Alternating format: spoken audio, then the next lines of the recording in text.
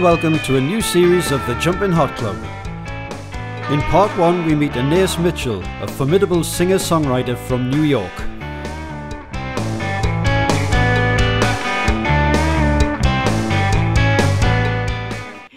Well, hello, Anais. Uh, thanks for coming again to the Northeast. Uh, we've seen you many times, and you're one of the only artists who still who stuck with it from being playing in the Morden Tower to still playing lots of gigs for you. Even though I know you played in the Royal Albert Hall not so long back. but, uh, yeah. It's always great to come back here and great to work with you Well, time and again. Yeah, well, uh, the feeling's mutual, you know. And I think you've, you've probably played as many venues as uh, as music I've put on anywhere, really, because I think you've, you've hit the, most of the venues that we're working. You've, right. I'm surprised. There's Yeah. a lot of diversity of Yeah. rooms. Yeah. Yeah. Yeah, most of the gigs we're still putting on in them venues apart from the Morden Tower because uh, it was a it, it was done for um, unusual venues at the time. And I, I can just vaguely remember you playing there, to be honest. Uh, it's just so long ago, but Yeah. uh, you Yeah. reminded us, yeah. You I must have- remember it too. It might have been 10 years ago? Oh, that's got to be, hasn't it? I don't know, that seems long, but Yeah. I, I remember it was my first time to Newcastle, Right. and I, and I didn't even know what there. Apparently, there were two Newcastles, Right. and I didn't Oh. know which one it was. Right. There's one in Ireland. oh, is that right? Is there not another one in England somewhere? Uh, I think there is, yeah. There's Isn't Newcastle Kev? upon Tyne, and Yeah, then there's another another Newcastle. one, yeah. And I, I was like, which which one is it? And um, and then I just remember I was on the train Yeah. and trying to find the Morden Tower, Oh, dear. and um, that made some artists cry trying to find that. Oh, yeah? They were actually in tears when the, the, the, it was so hard to find. It's on the city walls if anyone's never been there, and it is Yeah. It's in the back of Stowell Street, and so you've got to go past all the rats and everything. so that was another reason why we, we don't put things on there anymore because people complained. But it's a it's a unique place. I mean, Yeah. all the poets and you know the writers and everybody Right. used to um, used to go there. it was you know. beautiful. And was it unamplified? Maybe. Yeah. Yeah. Yeah. It's so rare to get to play a gig like that now. you Yeah, know. uh, un- unamplified and really, really cold. You had to jump around in your five hats and yeah. Yeah.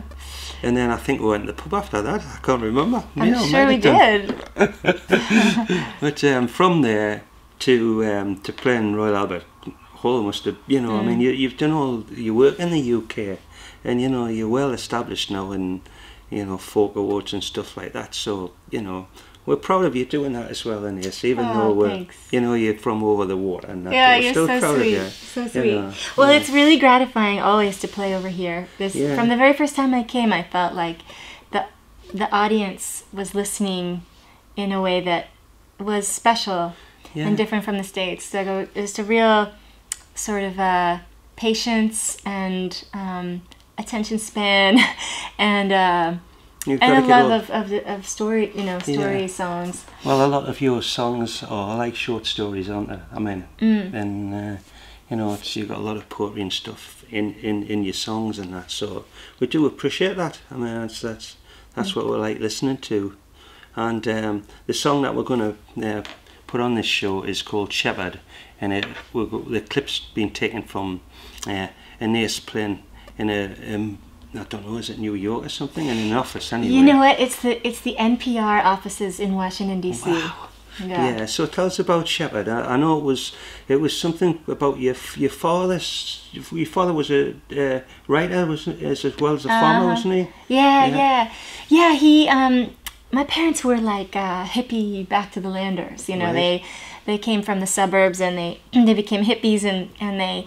Um, my dad uh, wrote novels as a young man, and Wow. both my parents moved to the countryside and, Wow. and bought a farm, and that was the sort of the thing to do at that at that time, in the sixties, seventies, and um, and so this um, book that my dad wrote um, was based on some of his experiences of, of being a shepherd, having sheep. Right. But it was a made up story Okay. um, about a farmer um, who's trying to bring in a crop of hay, and and then his wife um, is in labor with their child, and then um, and she dies in childbirth. And this is the beginning of the book that Right. that my dad wrote, and um, and so the song is like the ballad version of my dad's book. The ballad version. That's great. Well, we'd love to hear it, and it's uh, coming up soon. Said the shepherd to his wife, The crop of hay is cut and dried. I'll bale it up and bring it in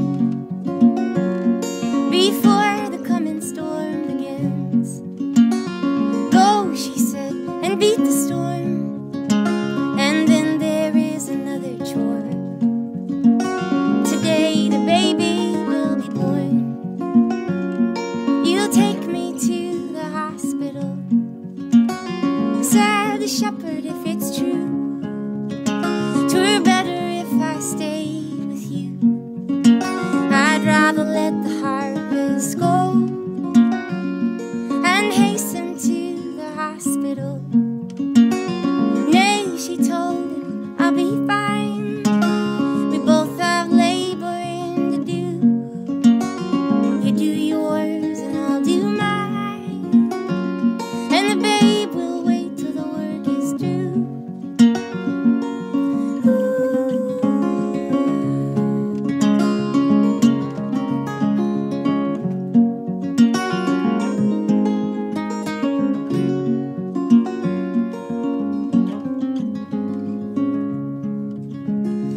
shepherd rode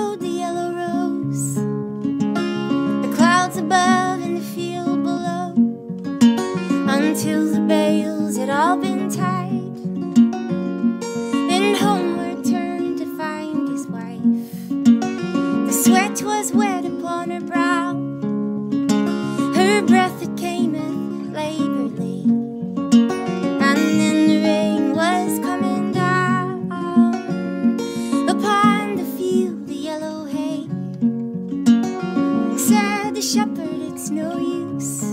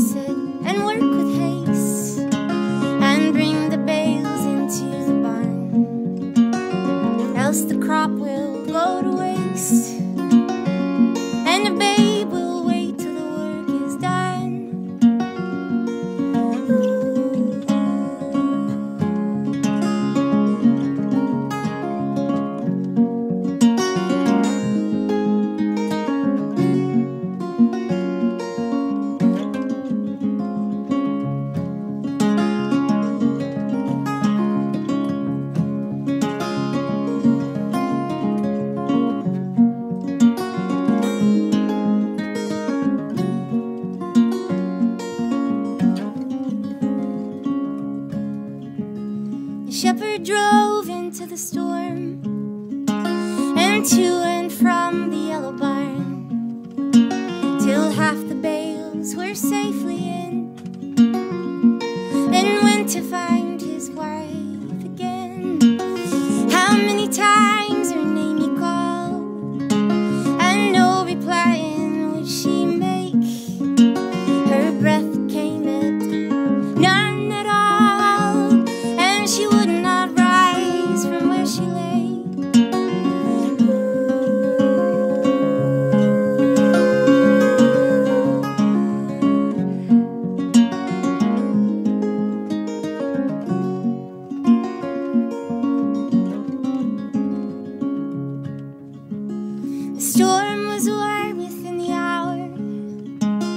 The shepherd saw the sun come out. The shepherd's wife saw ne'er again. He buried her and the babe within. He turned the seed into the ground. He brought the flock to feed thereon. He held the cleaver and the plow, and the shepherd's work was never done.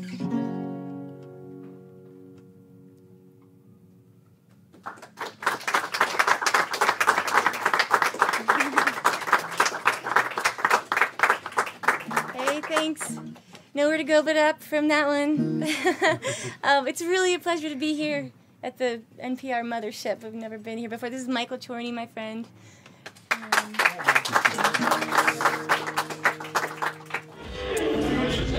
Coming up in part two, we have local singer-songwriter Nev Clay, followed by an interview and live performance from longtime friends of the Jumping Hot Club, Martin Stephenson and the Toe Rags. So pour some more of whatever you drink and we'll see you after the break. What's a sweet misdemeanor?